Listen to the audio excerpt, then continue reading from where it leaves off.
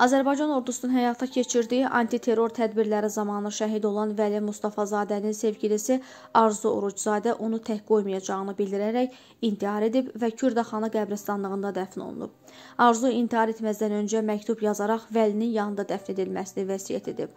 Onun nəşi Kürdaxana qəbristanlığından çıxarılaraq Ağstafanın Qarahəsənli kəndinə gətirilib və şəhidin yanında dəfn olunub. Şəhidin bacısı Ceyhunə Mustafazadə Baku TV-yə açıqlamasında Arzunun ona yazdığı son mesajdan danışıb. Dedi ki, anana de, gəlini də gedir oğlunun yanına. Onu tək qoyan deyiləm. Zəng etdim, cavab vermədi.